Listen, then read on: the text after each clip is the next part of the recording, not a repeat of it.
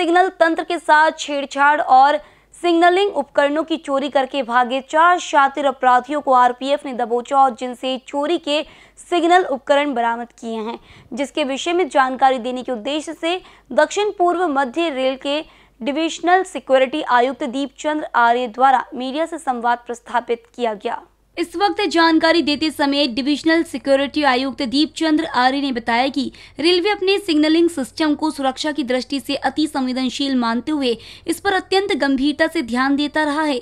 वहीं दूसरी ओर कुछ समाज विरोधी आपराधिक तत्व भी सिग्नल उपकरणों से छेड़छाड़ करने व उसकी चोरी करने से पीछे नहीं हट रहे हैं। विगत पंद्रह अक्टूबर दो हज़ार तेईस की मध्य रात्रि कंट्रोल रूम नागपुर में घंटी बजती है और खबर मिलती है की गोंदिया आरपीएफ पोस्ट के क्षेत्राधिकार में गंगाझरी स्टेशन व काचेवानी स्टेशन के मध्य रेलवे फाटक क्रमांक 515 के पास स्थित सिग्नल विभाग के अति संवेदनशील माने जाने वाले रिले रूम का ताला तोड़कर कुछ अज्ञात बदमाशों द्वारा सिग्नल संबंधी कीमती उपकरणों को निकालकर चोरी कर लिया गया, जिससे सिग्नलिंग व्यवस्था ठप हो गई और ऐसे में किसी बड़ी दुर्घटना के घटित होने की संभावना हो सकती थी। दरअसल, सिग्नल रिले रूम का ताला तोड़कर कुछ बदमाशों ने पहले तो अंदर लगे करोड़ों रुपए के उपकरणों के साथ छेड़छाड़ की और वहाँ से इकतालीस नग रिले निकालकर गायब हो गए, जिससे मेल एक्सप्रेस सहित मालगाड़ियों का आवागमन भी ठप हो गया। गौरतलब है कि इस वक्त जानकारी देते समय दीपचंद्र आर्य ने बताया कि मामले में निहित आरोपी सलाम रफीक शेख, उम्र 24 वर्ष, वार्ड नंबर चार, रेलवे चौकी रोड, गंगाचरी थाना, गंगारी, जिला गोंदिया, महाराष्ट्र निवासी जितेंद्र नरेंद्र गिरी उर्फ़ जीतू, उम्र 34 वर्ष, मजीदपुर, गंगाचरी थाना, गंगाचरी, जिला गोंदिया, महाराष्ट्र, ऋषभ शशिकांत सिंह उर्फ़ सोनू, उम्र 24 वर्ष समेत एक विधि संघर्षित। बालक का समावेश है, जिन्होंने अपने नशे के शौक पूरे करने के लिए इस चोरी को अंजाम दिया। आरोपियों को गिरफ़्तार कर आगे की जाँच पुलिस कर रही है। ये घटना इसी पंद्रह तारीख की है, पंद्रह अक्टूबर की रात की। रात में रिले रूम है काचेवानी और गंगा झरी दो रेलवे स्टेशन हैं। इनके बीच में एक रिले रूम है, जो सिग्नल का जहाँ इक्विपमेंट रहते हैं, जिनसे रेलवे का ऑटो सिग्नलिंग सिस्टम चलता है। तो उनको कुछ बॉक्स टाइप के होते हैं, उसमें सिग्नल्स होते हैं।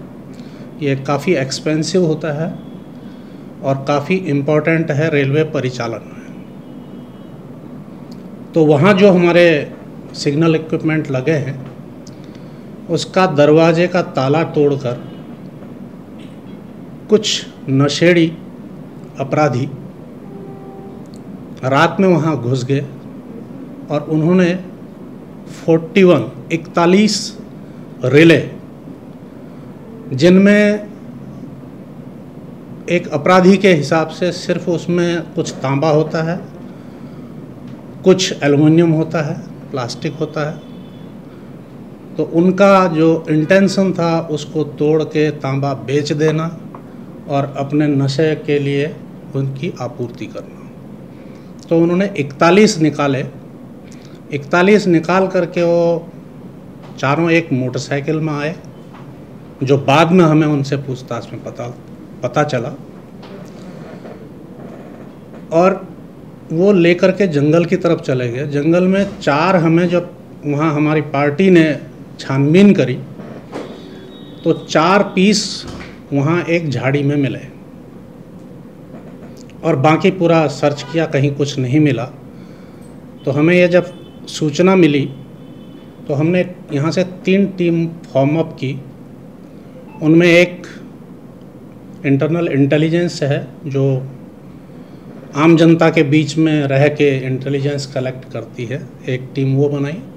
और दो हमारे क्राइम डिटेक्शन की टीम है। एक गोंदिया की टीम। और एक नागपुर की टीम। दोनों टीमों को क्लब किया, उनको वहाँ भेजा। और नाग, नागपुर गोंदिया में जो हमारा आरपीएफ पोस्ट है, वहाँ की एक टीम गठित की। ये तीनों टीमों को उनके काम पे लगाया। जब काफ़ी मेहनत हुआ, ये हुआ, जब इसका सीरियसनेस लगी तो हमारे उच्चाधिकारियों ने भी डीआरएम महोदय और हमारे प्रधान मुख्य सुरक्षा आयुक्त जो हमारे आईजी महोदय हैं, उन्होंने भी हमें आदेश दिया और हमें बताया कि इसमें कुछ इफ़ेक्टिव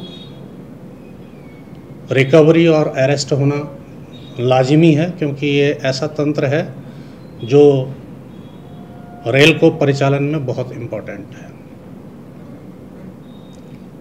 तो मैं स्वयं वहाँ जा कर के कैंप किया और टीमों का वो मौका मुआयना किया और उसके बाद वहाँ के एसपी महोदय से मिला